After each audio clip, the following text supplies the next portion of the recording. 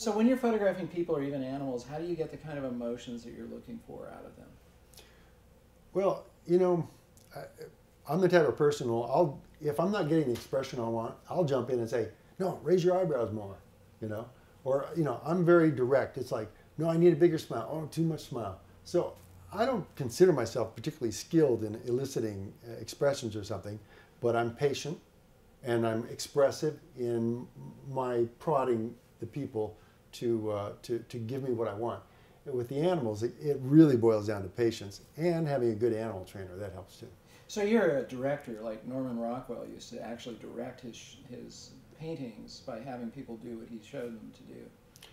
Well, I think anybody who creates a photograph rather than takes a photograph is a director. It's just some people are more animated in their direction and others are less animated. I tend to fall more in the animated side of things.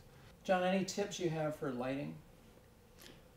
Yes, I have to laugh because the first thing that popped in mind was I went on a, a week-long shoot down to uh, South America and I took my Profoto 7Bs, which I absolutely love, and I forgot the charger, which meant I had, you know, one day's worth of, of, uh, of uh, charge out of the 7Bs, and the next six days I had to deal with existing light for all my shots. And uh, so the first thing that comes to mind is that supplemental lighting for me is extremely important. Whether you're shooting outdoor in midday or in some dark room, being able to, to light it the way you want by having your lighting with you, that to me is really important. Mm-hmm. That being said, when I'm shooting for compositing, often I'm trying to get very flat lighting because I know I can add direction, I can add uh, dimensionality in Photoshop.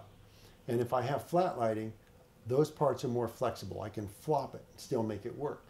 I was shooting elephants in Thailand about a year and a half ago, and I hired a film crew to bring a great big silk screen, I think it was like 20 feet by 20 feet, placed between the sun and the elephants, and the sun was at my back. So I had a very flat, soft lighting on these elephants which means that as I come back to my studio and I'm trying to make them work in different environments, all those different shots will work. I don't have to worry about now the lighting's in the wrong direction or something. Right.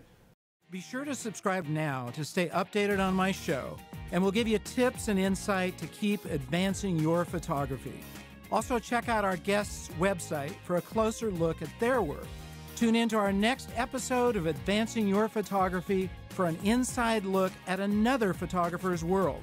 Until then, this is Marc Silber reminding you to get out and capture your own images of life.